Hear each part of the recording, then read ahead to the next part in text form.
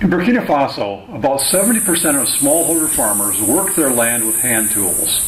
About 30% of the farmers have oxen for preparing the land, but there have been few improvements in tools and equipment for animal power in recent decades.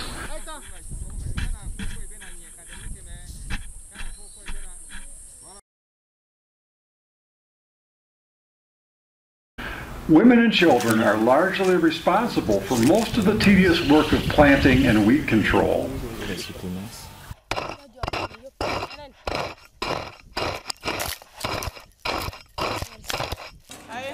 Farmers understand how equipment can improve their farming system, and the local blacksmiths live among the farmers. They understand their needs, and they have the skills to build and repair their tools. The blacksmiths are building inline subsoilers for zone tillage for corn and other row crops. This innovation will replace the moldboard plow and restore soil health by reducing tillage intensity and retaining a protective cover of crop residue on the soil surface. We have great respect and value the contributions of the farmers and blacksmiths in the process of adopting animal powered mechanization for sustainable intensification.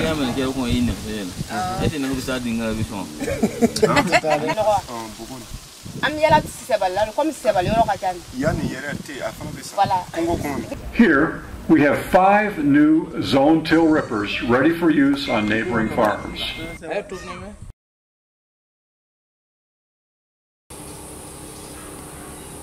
To match local conditions, the tools need to be inexpensive, rugged and functional, and able to be built and repaired with local skills and materials. The subsoilers till a narrow band of soil about 8 inches wide and 6 inches deep. The rolling basket levels and firms the seed bed.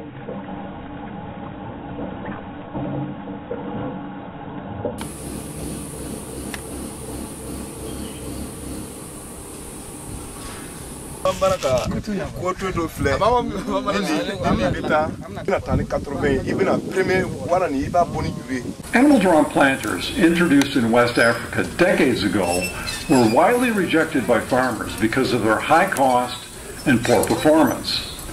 The success of the inline subsoiler enabled several planter innovations to improve performance in conditions of low soil disturbance and surface residue.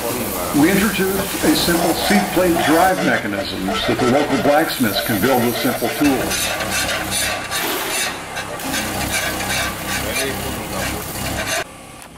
Ready? Yeah. One, Smile two, a little bit. uh, one, two, one, two, We improved the seed plates and seed delivery for corn, sorghum, millet, and cowpea. We developed an innovative furrow opener for better seed placement. We developed concave disc furrow closers that improve residue flow and greatly reduce plug. We also reduced the width of the press wheels by 50% for more localized pressure in the narrow tillage zone.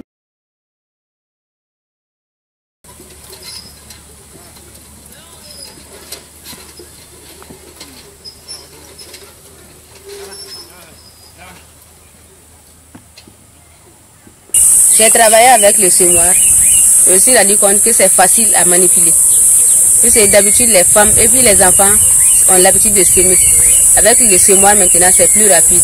Maintenant, si on pouvait associer le moteur du couturier au semoir, c'est-à-dire le mettre en avant du semoir, et que les deux appareils puissent travailler ensemble.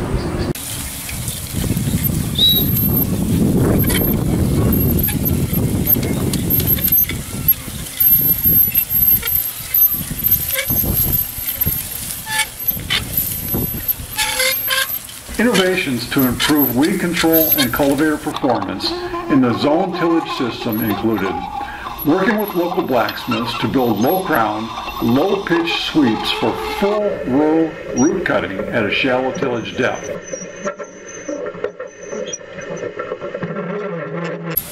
Here we are using the row cultivator pre-plant for early season weed control and soil made mellow from recent rain. We then planted directly without using the zone tillage tool or any additional tillage. Outside of the growing season, cropland is common land in Burkina Faso. Both cropped and non-crop land is shared as a community resource for grazing. Some feed is stored over the dry season, but the quality is often low. A few animals are enclosed and receive extra feed, but most are free ranging and tend to lose condition as natural feed supplies diminish over the long dry season.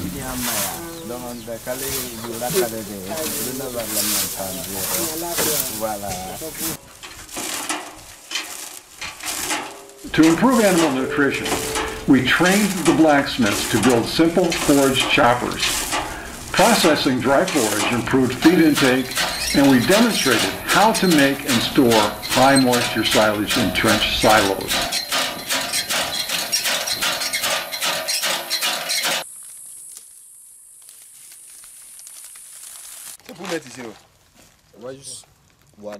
This silage was surprisingly good considering the very mature stage of crop growth, low moisture content, and long length of cut.